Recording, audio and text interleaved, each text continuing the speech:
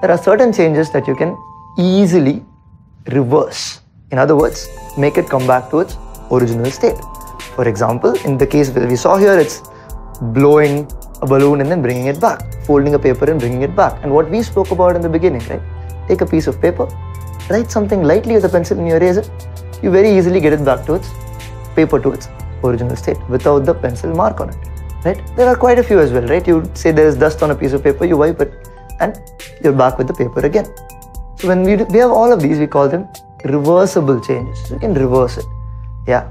But like you saw, you burst a balloon, you can't easily take it back to its original state. You tear a piece of paper, it's not easy to take it back, right? If you heat something, like say a chapati, right? You roll a, a round piece of dough into a flat, flat one, and then you, you can roll it back. Yeah, it's very easy to take it back. That's reversible. But if you heat it and make a chapati out of it, or a roti out of it, once you get that, then it's very difficult to take it back to its original state, maybe even impossible. And like we also discussed, writing with an ink pen seems to be, that's right, quite a bit irreversible even though somebody tries to sell you an ink eraser or a whitener.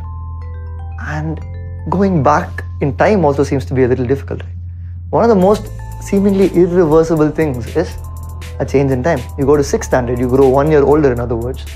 Going back seems to be quite difficult. So in this video, you've learned two new words. Yeah, reversible and irreversible. You've learned a little bit about what they mean when we talk about it in science. To keep learning with such engaging videos, download Byju's, the learning app today.